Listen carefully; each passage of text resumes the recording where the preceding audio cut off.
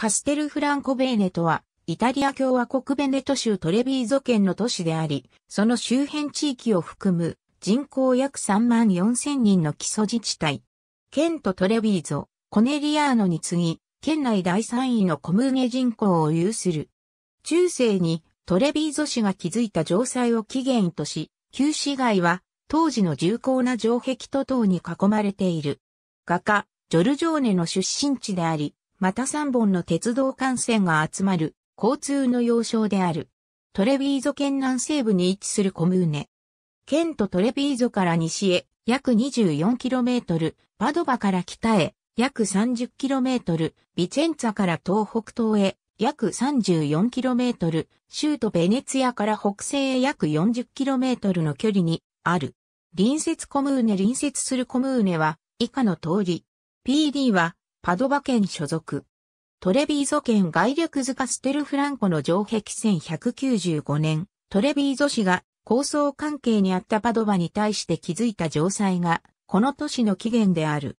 1246年には、エッツェリーの三世ダロマーノによって占領されたが、彼の死後の1259年にトレビーゾ市に返還されている。1329年には、ベローナの支配者であったカングランデ一世、デ・ラスカラがこの都市を獲得した。1339年、この都市はトレビーゾと共にベネツィア共和国に編入され、以後1797年までその統治下にあった。カステルフランコベーネトには以下の分離集落がある。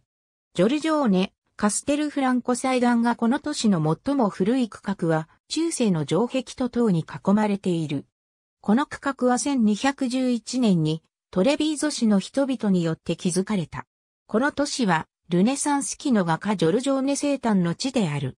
1723年に完成したサンリベラーレ、大聖堂には、ジョルジョーネの傑作とされる作品の一つ、玉座の聖母子と聖リベラーレ、聖フランチェスコがある。一般に、カステルフランコの祭壇画や、カステルフランコのマドンナといった名で呼ばれる、この画の背景には、この都市の旧市街の塔が描かれている。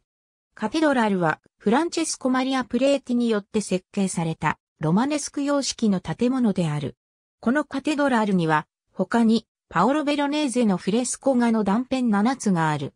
1877年に開業したカステルフランコ、ベーネト駅は3本の鉄道路線の集まるジャンクションである。トレント・ベネツィア線、モンテベルーナ・カンポ・サンピエロ線、ビチェンツァトレビーゾ線が交わる、この駅は、州内で最も乗降客の多い駅の一つである。ありがとうございます。